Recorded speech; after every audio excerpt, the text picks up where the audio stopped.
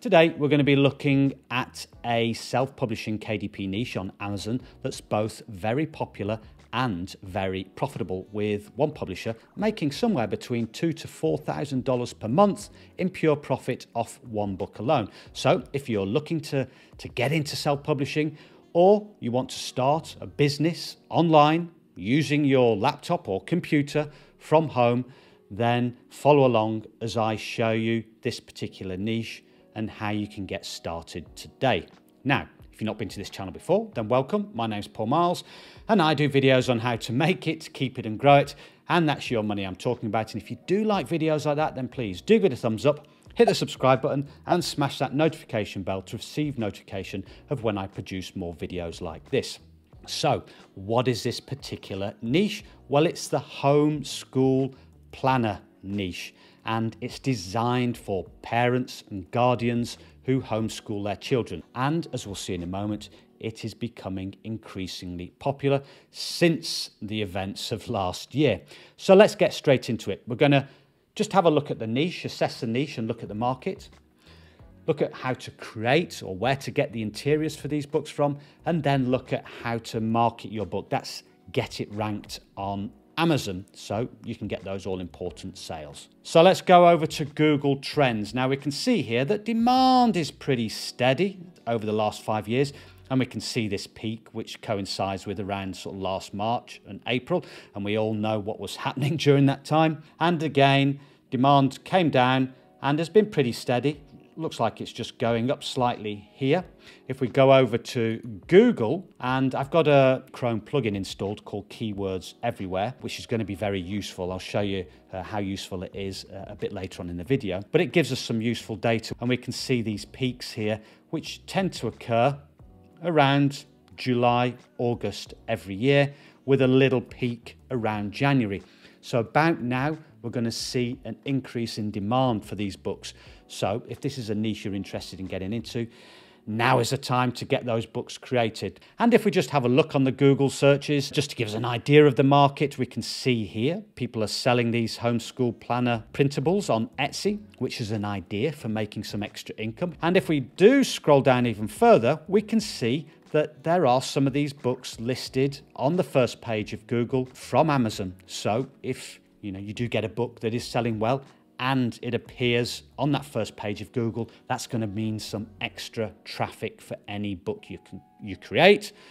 And extra traffic means extra clicks and extra sales, which means extra money, which is what we want. So now I normally go over to Amazon when I'm assessing a niche and I put in just a, a general root keyword here. We're going to put in homeschool planner. Now, the important thing I'm, I want to know is are people making sales with these books? So what I'm looking at here is what's called the bestsellers rank, which is this number here, 3,349. Now, what I normally look for are three or more books on the first page with bestsellers ranks of less than 300,000. Uh, that's my initial criteria because if that occurs, if I do see that, it means that there are books being sold. Therefore, there is a market for this particular book, for this particular niche, which is good, which means I'm now interested in pursuing this further. So if we just have a look at some of the other KDP books, we've got one here 16,000, 8,000, 20,000. So straight away, this has met the criteria for, for a niche that I am interested in publishing. Now, out of interest, what we can do is go to this book, take this bestsellers rank and put it into a book sales calculator. And, and this one I use is at tckpublishing.com. And this book is selling between 900 to 1,860 a month and is selling for $9.95 which means the profit is around $2.38, which equates to this one book a profit of 2,142 to $4,284 per month. That's pure profit. That's royalties that this particular publisher receives. And that's just from one book alone. So you can see there the potential to make money in this niche is very good. Okay, so now that we've decided that this is a profitable niche, we now need to look at creating these types of books. And one of the main thing in creating these types of books is the interior. So one of the most popular sites for KDP interiors is Creative Fabrica. And I just put in KDP Homeschool Planner and we can see here we've got lots of options to download. Now these can be bought individually or you can subscribe to a plan where you can get interiors, graphics, fonts, lots of resources to use uh, for the interiors of your books and on the covers of your books. And I use this a lot. And I think at the moment they are still doing this special offer where you can get the first month access to everything for just $1. After that, I think it goes up to $19 a month. Now, BookBolt does have free interiors. They didn't have anything specific to homeschooling, but I did notice they had some interiors related to planners like this monthly planner here. It may be possible that you could download some of these interiors um, related to the to planners and maybe join them all together, mix them together to create an interior. One of my favorite options is Tangent Templates. Now this does cost money. It's $59 one-off payment to, to buy Tangent Templates. It's web-based software, but they have a lot of useful resources for creating interiors. And here we have the area for creating planners. And you can mix and match all these different uh, planner components to make an interior of your choice. One option is you could go to somewhere like fiverr.com and pay for someone to create a bespoke interior for you. Or the other option is to create an interior yourself using something like Adobe Illustrator, uh, Affinity Designer. You can even create them on PowerPoint or Keynote. Now, in order to make sales, we're going to need to get our books ranked on the first page of Amazon. And we're going to need to give our books the best chance of that happening. And we achieve that in two ways. One is in the use of keywords. That's keywords in the title of your book, keywords in the subtitle of your book, and keywords in those seven uh, keyword boxes that you fill in when you do upload your book to Amazon. If you're unsure about using keywords, I'll leave links to two videos below I've done on keywords. One, how I find keywords, and two, how I use those keywords to, to maximize the chances of being rank, ranked on the first page of Amazon. Now, I say chances because you can do everything. You could have a superb cover, get all your keywords right, but it still doesn't rank. There is an element of luck involved. But as you go on, create more books, the more chance you're going to get of, you know, a good proportion of your books getting ranked if you go through the right process and do the right things. So we'll look at the keywords first and then I'll discuss the cover designs um, and give you some ideas or what I think would be useful to do in terms of helping your book get ranked. Okay, so normally when I go to Amazon, I put in a keyword. Now keywords are the words that buyers or potential buyers put into the Amazon search bar. They're what they use to search for items, in this case books. So when we put in homeschool planner, you can see here there are these keywords on the left hand side and these are keywords that Amazon is suggesting. Now these are important for two reasons. One is Amazon is telling us what people are searching for and two, customers tend to click on these words as a kind of a shortcut to something they're looking for. So they have a double benefit. Now, what I normally do is when I'm doing keyword research, is I make a note of all these keywords on the left hand side and I put them into a spreadsheet. I also have a plugin installed called AMZ Suggestion Expander and it gives us these extra keywords here on the right hand side and I will also write those down uh, on a spreadsheet. Now, when I enter a keyword into the search bar and click on search, I'm looking at this number here, which is a number of search results. And this gives me an idea of the competition for a particular keyword. Now, the lower the number, the better because there's less competition.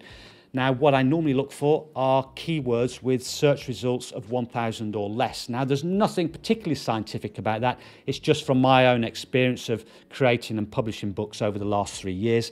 I've found that if that number is 1,000 or less, there's uh, an increased chance of getting a book ranked on the first page. Now, if it is more than that, then you don't need to discount that keyword completely because you could get your book seen by running ads or creating an unusual or striking cover, which, as I mentioned, we're going to come on to in a moment. Now, another figure I want you to look at is this one here where it says volume 8,100 per month. And that's the number of Google searches per month.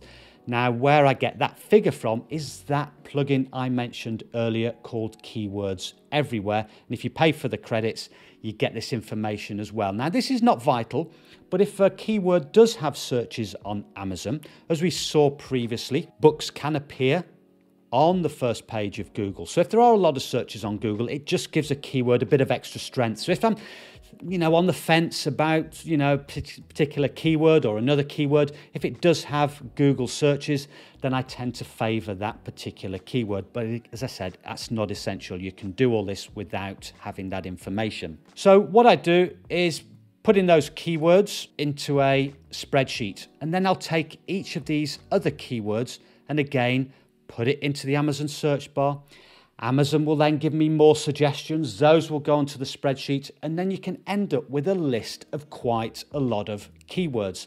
And for each of those keywords, I'll enter that into the search bar and look at the number of search results to get an idea of the competition. So you end up with a spreadsheet of keywords, next column, the Amazon search results, and then the next column, Google searches per month, if there are any. And from there, you can then start to assess the keywords. Now, what I've done is I've built up a spreadsheet of all the keywords that I found, and I found 165 in total, which is quite a lot. And again, a columns for the Amazon search results and a column for the Google monthly searches. Now, if you're familiar with this channel, you know that I've got a Gumroad shop. And what I've done is I've uploaded these keywords and put a price on, on all these keywords of $1. So if you wanted to get all those 165 keywords, um, you can go to my Gumroad shop. I'll leave a link below um, in the description and you can get all those keywords for yourself. Or you can do it for free going through the steps that I've just explained and also explained in my video on keyword research. What I've also done is added in this list as well of single keywords now, these are useful for filling out the seven keyword boxes on the Amazon KDP platform when you're uploading your book. And all these keywords come in uh, .pdf file, .csv file, and also Excel file, so you can open them up in virtually any bit of software that you have. Now, the other th factor to consider when getting your book ranked is the cover design because if we go to Homeschool Planner, you can see here a lot of the covers look very familiar. They've, you know, they've all got a pattern or flowers like these. So you may think, okay, I'm going to copy that cover and, you know, it's going to be a popular cover, so I'm going to get my book ranked. Now, the problem is a lot of these books have got reviews.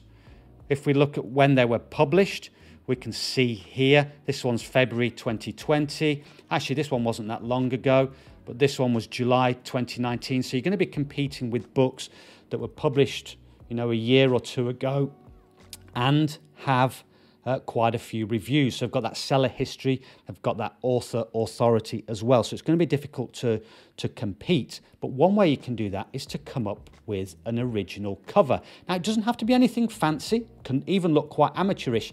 And sometimes what I do is say, think of, you know, cards, gift cards, you know, Christmas cards, that type of thing that you buy in shops or birthday cards especially. Um, those sorts of designs that are humorous, sell well and can attract people's um, eye and attract their interest and get clicks on Amazon and hopefully lead on to sales. And here are a couple that I created just very quickly. I created these actually on Canva and you can see here, you know, this would appeal to anyone that likes dogs is quite amusing. And I did this one as well because uh, another popular keyword is chaos coordinator homeschool planner. And again, looks quite amusing. Looks like a, a card you, you may buy in a shop. And this would also appeal to people that like or love cats, of which there are many. And so you can see here, you're looking completely different from the other books that are listed here. And, you know, even if you were to maybe run an ad on that type of cover, get it seen, you may be in with a good chance of getting clicks. And I think that would be better than trying to attack this niche by just producing a generic flowery cover because you're going to have difficulty competing with all these with reviews and seller history. Now, if you want more information on the process of creating and uploading books to the Amazon KDP platform, then I've got this book tutorials playlist here, which is a great resource for lots of tutorials, lots of videos on that. Thank you very much for your time. It's very much appreciated. Don't forget to hit the subscribe button and also do give it a thumbs up. Thank you very much, and until next time, goodbye.